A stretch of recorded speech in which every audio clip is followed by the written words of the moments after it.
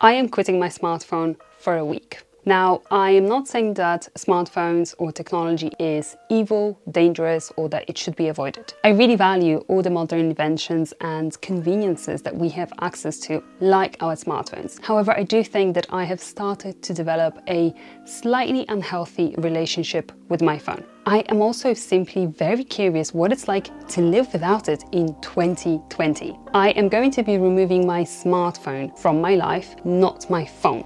And what I'm going to be using instead is this. I'm hoping that thanks to these insights I, I, will gather throughout this week, I will be able to design a new relationship, a healthier relationship with my smartphone. The plan is to first of all charge it up and see if it works and then try and fit an old SIM card into it. This is gonna be fun. Yeah, fine. While we're waiting for my new phone to charge up, let's talk about the benefits that I'm hoping to see through this experiment and also about my fears. The main benefit I'm expecting to see is feeling less anxious and more relaxed and more focused. I really notice how distractive, distracting, destructive my phone is. Every time I have my phone around me, I feel like I'm constantly expecting to receive something. And when I receive a notification or a message, I automatically reach to check it. One habit I'm really hoping to break is the constant tapping of the screen of my smartphone. It's so annoying that I keep doing that to the point that I sometimes there is not even a phone laying around and I still tap it because I have this habit of tapping to check for notifications on my phone. The worries that I have is the fact that I like to use my phone for directions. As long as I, I, stay locally, that shouldn't be too much of a problem. But if I was to drive somewhere outside my town, or go back to London, for example, then I would definitely want to use an application on my phone.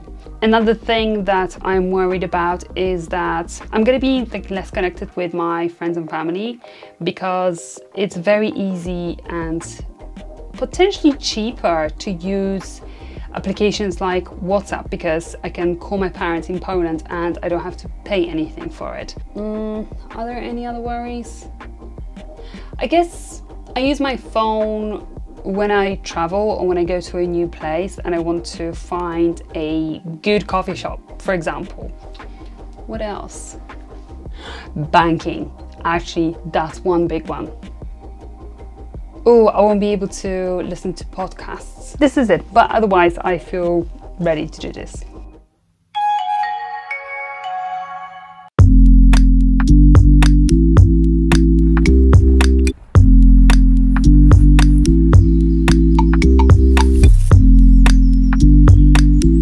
First walk without my phone, first proper day without my phone. There are some benefits and some cons. The benefit is that I'm feeling definitely lighter, physically and mentally.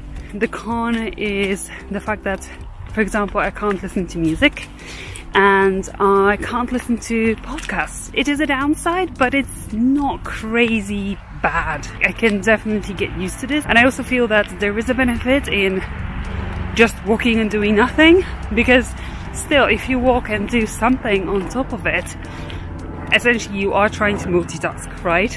And this is definitely what I was trying to do. And I am not a fan of multitasking. I believe that there is a lot of good in doing one thing at a time. Okay, so I am starting to experience these little inconveniences of not being able to use your smartphone. I'm just booking accommodation and I need to fill out a form. I don't know why. Either way, I need to fill out this form that I've needed to print off and sign and then send it back to them. So normally I would use my phone for that. I would just take a photo and email it from my phone. But what I'm gonna have to be doing now is probably to use the camera that I'm recording on to take a photo, then transfer the photo using a cable from the camera to my laptop and email it back that way. However, I am working now and I'm finding that I'm not distracted by my phone by wanting to look at it, by wanting to check the emails, by wanting to check messages. that distraction is just not there and I really don't miss it. Let's go to town without my phone.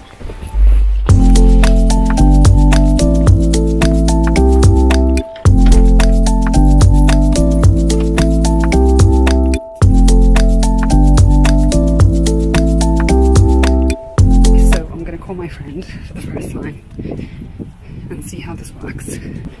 Cześć Grzegorz! Idea posiadania takiego telefonu jest spoko, ale wykonanie powiem Ci, że na razie jest dość trudno. It started raining.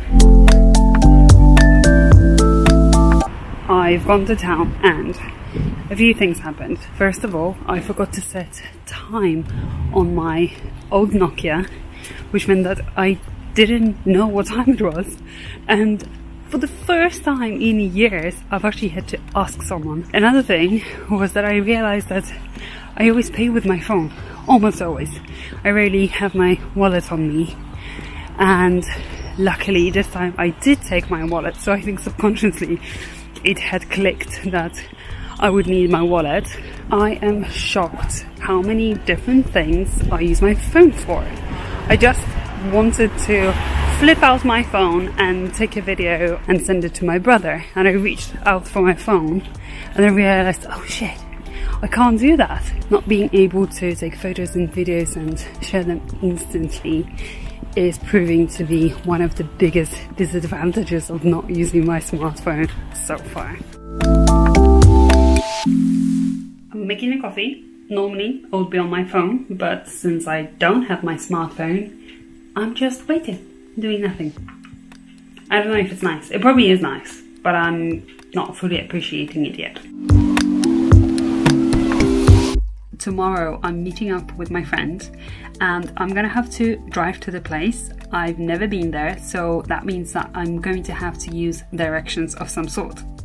Normally I would be using my phone for this purpose, but since I am not using my smartphone, I am gonna have to work out a way forward.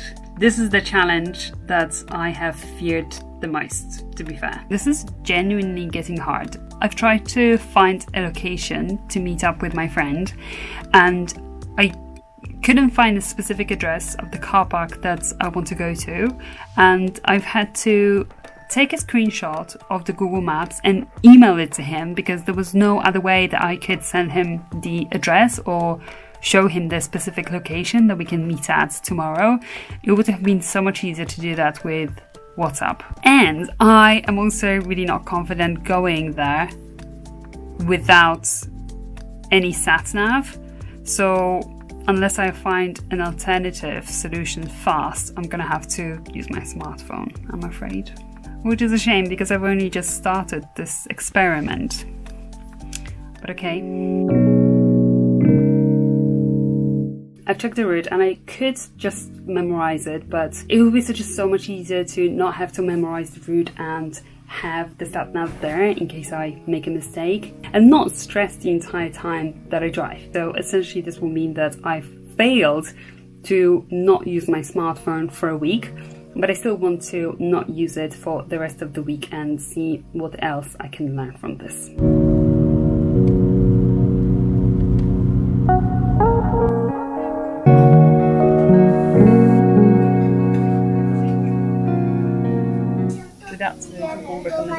We ended up going to a coffee shop that is inexpensive. This is yet another benefit of using your smartphone. So it's end of day two. My main conclusion so far is that this experiment is actually more difficult than I anticipated. I'm really glad that I use my phone for directions and I am starting to see my phone in a completely new light and I am starting to fully appreciate all the benefits that it gives me and how much easier my life is when I can use my smartphone. Not to underplay the disadvantages and the addictive qualities of having a smartphone, but I think it's really healthy to realize that smartphones really make our life easier. I was planning to continue not using my phone for the rest of the week, even though I essentially failed already on day two because I used my phone for directions. But I didn't, which just confirms that I totally failed at quitting my phone for an entire week. Still, I feel like I have some valuable conclusions Here's the summary of this experience and what I have learned. I thought it would be easier to live without my smartphone and I felt actually pretty confident that I would succeed in this challenge. But although I failed, I think that the experiment in itself was a success. Not having my smartphone made me realize just how many things I use my phone for. Banking, paying, directions, restaurant recommendations, alarm clock, clock, calculator, torch, general Googling. I also started getting a better understanding of which of these things are essential and I started appreciating them more. Take SatNav for example. Isn't it amazing that you can know exactly how to get somewhere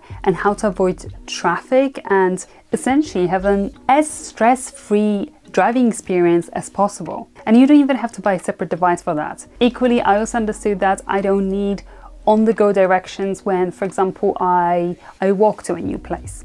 Then I am happy to get lost and practice my orientation skills. On the other hand, not using my phone, at least for a couple of days, helped me identify things that I can live without, like my social media on my phone. I don't want to be connected to social media all the time and not having access to it throughout most of the day made me feel less anxious and a lot more relaxed which is not something uncommon because many people who quit or reduce their use of social media experience similar feelings. So having this new understanding makes me look at my smartphone from a fresh perspective. I think that deep down, before this experiment, I used to see my smartphone as something a little dangerous that started to control my life, and my feelings around it were primarily negative. I'm still very much cautious around my phone and how I use it and how it impacts my life, but equally, I truly appreciate the benefits of it and I have new ideas for designing a healthier relationship with it. For example, I've done a great app purge on my phone and I neatly organized the remaining apps into folders so that my screen looks cleaner and less chaotic. Believe me, even something like this makes a big difference. I also removed all the social media from my phone and I only check my social media on my laptop. I'm planning to buy an alarm clock so that I don't have to keep my phone in my bedroom at night, which will also help me set cutoff times for using my phone so I can get a break from it. In general, this short experiment made me think about how I use my phone and no doubt I'll keep experimenting with my relationship with it. If you're also not totally happy with your current relationship with your phone, I would recommend that you do this experiment too. Quit your phone for a day and see when you really can't do without your phone and which things you're willing to let go of. I bet that, like me, you won't see your phone the same way again. I hope you enjoyed this video and if you did, share it with someone who might need it. And if you'd like to subscribe, it would be awesome to have you in the tribe. Thanks for joining me today and I will catch up with you in my next one. Bye!